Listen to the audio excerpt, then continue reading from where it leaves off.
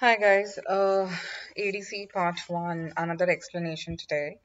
Uh, we are going to discuss about impacted canines. Uh, one of my candidates uh, requested me to make a video about it, so and she shared uh, this question, which is from one of my mocks. Uh, so yeah, let's start with it. Uh, a 15-year-old girl, says she's concerned about the size of the baby upper eye teeth eye teeth or I tooth is always canine. Okay. So she says the size of the baby upper tooth. So because she is 15, according to the eruption chart that we know of, almost all her teeth should have been erupted, but still her deciduous canine is there in the mouth and the new one is not there based on this picture. So, of course, the deciduous canine would be smaller in size compared to the other teeth, and hence the girl is concerned. Understandable. Now, she's not bothered about the small space between the upper front teeth, which means this, this, and this. So, she has generalized spacing basically. If the gap was present only between these two teeth, I would have just called it as a diastema but because it's present out here also and here also it's more of a spacing. Basically she has a big mouth and the teeth size is a bit small. They're not that small. It's not microdontia but uh, you know they are just average size teeth and she's got a little bigger jaw which is resulting in spaces. But she's not bothered about it. So we should not be concerned about at the moment either. Now she is not bothered about the small space between the upper front teeth C is also slightly loose. C means this canine and this canine. And she's worried in case that it is lost, it would produce a big space. So she feels if this tooth is lost, there would be a very big space between this lateral and the premolar. Uh, quietly concerning because it forms the corner of your smile. So if you're going to smile and on both the sides, if you see big spaces, it's going to look weird. Her previous general dental practitioner who retired last year advised her that these teeth would eventually fall out by themselves. Uh, the dental practitioner retired last year means she had gone to him last year, which means she was 14 at that time. And that when the new eye teeth come through, she would then need braces to close the spaces between her upper top teeth. So when the upper canines come up, uh, she will have all the adult dentition and she can go ahead with the braces to close the gaps in case she is willing for it. Now, there is no history of trauma to C. Uh, and all of the primary teeth were lost naturally. All permanent teeth have erupted on schedule. She has noticed that C has been loose intermittently for past 18 months. Now, 18 months is a very big time. See, first of all, the upper canines are supposed to erupt by the age of 12, 13, max 14. In case they are not erupting, then you should start investigating as to what is happening. Now, a tooth is being wobbly for past 18 months and still not falling off is a sign of a concern. Now, it does not appear to have got looser in recent months, means she doesn't feel it's going to fall off soon. Diane is very keen to improve the appearance of her upper teeth. So she is very, very bothered about the look of her face the teeth wise and she wants to improve it. So let's see what are the questions. Now before I see the questions, uh, first thing after reading this big scenario, uh, it would come in my mind is where are the permanent canines? You know, are they present? Are they absent? If present, um, why is there, there no bulge in this areas for them? Is there a space deficiency because of which they cannot erupt? No, that is not true. There is actually excess of space. So if they are present, then probably something is wrong with them because by now they should have come. And if they are absent, then we have to find out why they are absent, as in, are both of them absent, either of them is absent, and if they are present, where are they? So these are the questions in my mind. And the first thing that I would tell my patient is to take an OPG directly, okay? But anyways, let's see what the question asks here. What investigations would you undertake regarding the C? Wow, that is the first question indeed, though I had not read it. so, uh, radiographical examination first, CBCT, clinical examination to determine if threes are present or not. clinical examination to determine if all C's are present or not. C's are deciduous canine. I don't have to look out for the deciduous canines because uh, I'm more bothered about the permanent canines at the present moment. Uh, here, see, I did mention that uh, my first thing would be to take an OPG, but before that, I did mention that if I don't find the bulges of the canines, I would go for OPG. So to see the bulges of the canine here, I would have to do clinical examination first. So first step would be clinical examination. And once I'm sure that I cannot feel the bulge out here by palpating it, pressing it both buccally and palatally, I would say let's take an OPG.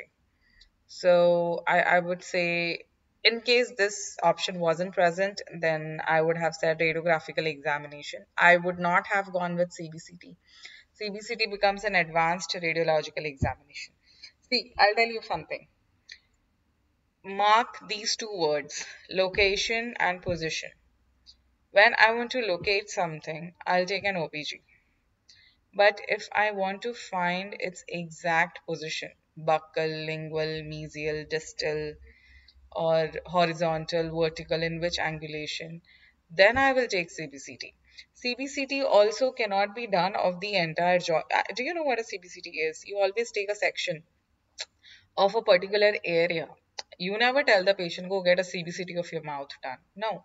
The technician will always ask you, doctor, which area you want me to take the scan off So you'll have to tell him, you know, upper left quadrant, upper right quadrant, or you may have to be even more precise and tell him, you know what, I want of this tooth particularly, the CBCT.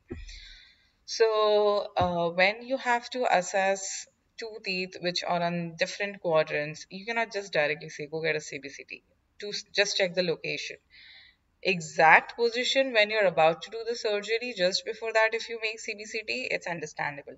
Also cbct is very expensive. Not all the clinics can afford to have that machine and not all the patients can afford to get it done. But opg is a very very basic diagnostic method uh, to check things regards to their location.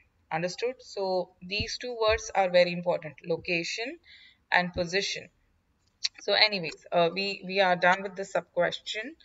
Uh, we would first check the clinical examination.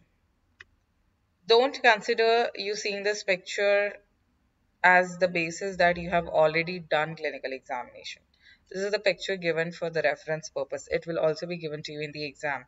But just looking at this picture doesn't mean that you have done your clinical examination. You still have to palpate. You still have to, you know, see through uh, all the areas which are not visible in this picture. So clinical examination would of course first come first and then only you will uh, take consent of the patient and advise them to go for a radiological examination for further investigations. So the first investigation would always be clinical. If that option is there, that option is not there, then radiographical examination. Now what to use to assess accurately the location of unerupted threes?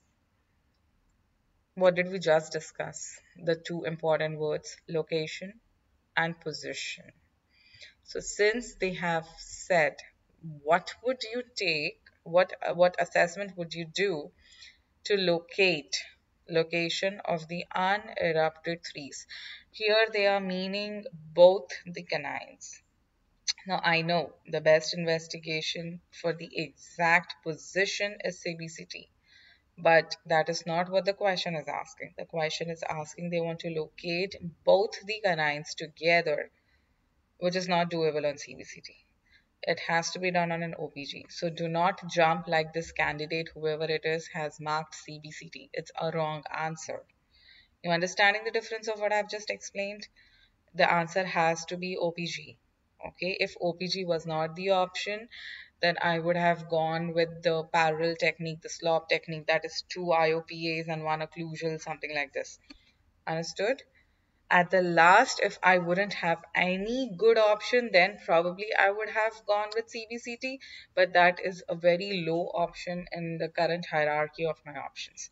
So the question is asking, you want to locate the uh, the the areas where both the threes are present. They are not asking the exact position of the tooth. If this question would have been which is the best diagnostic method or which is the best investigation you would do to point out the precise positioning of say 1 3 then I would have chosen this answer because I want to know it's buccal or it's palatal. Because OPG will give me a general idea eh, because it's a two plane picture, but CBCT is a three dimensional picture. On OPG, I can probably see that it's located, you know, somewhere about say above 2 2 example. But I wouldn't know if it's buccal or if it's palatal. That I would need further exact positioning, and for that I would use CBCT. So here the answer is OPG. I hope that is clear. Now, what is the cause of the spaces between her teeth? So, like we discussed, uh, can also be an answer, but uh, since we don't have the x-ray and we don't know if there are supernumerary teeth present, I have to go with big jaw and small size teeth. Uh, there is no missing teeth at the moment because all teeth are present and though upper canines are missing but the canines are still present. Ugly duckling could have been the answer had the patient been between the age of 8 to 9 or 9 to 10 years. But since she's 15 that is no longer my answer. What could be the abnormality here? So this is the OPG given. Now you have done the investigation. Uh, you see these canines? Uh, the position of this canine should have been right above this deci canine, but instead it's completely mesially tilted with the root going distally. So is here. So they are technically above the centrals or the laterals. Now, this is what the OPG provides.